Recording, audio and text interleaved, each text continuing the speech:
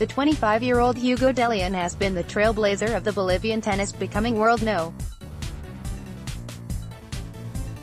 2 in the last junior season and forging his way through the ATP rankings for the previous 10 years. Hugo had won the first Futures title in 2013, cracking the top 300 shortly in the following year and struggling with injuries and form in the next couple of seasons to miss that final push towards the place in the top 200, the status of a regular challenger player and the competitor in the Grand Slam qualifying draws.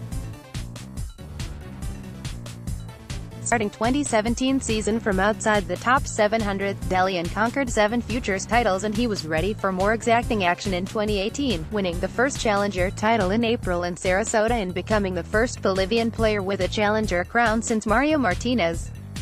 in Messina 1983. A few months later, Hugo set another milestone as the first Bolivian player in the top 100 since Martinez in July 1984, achieving a childhood goal and trying to ride on that wave in the season ahead of us as well.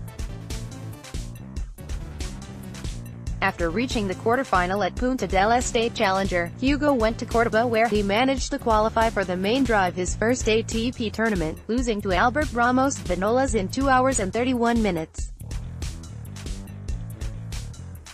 Dellien failed to reach the main draw in Buenos Aires and he fixed that in Rio de Janeiro, earning a chance to play the first ATP 500 event and claiming a 6-4, 6-4 victory over Guido Andreozzi in an hour and 27 minutes for the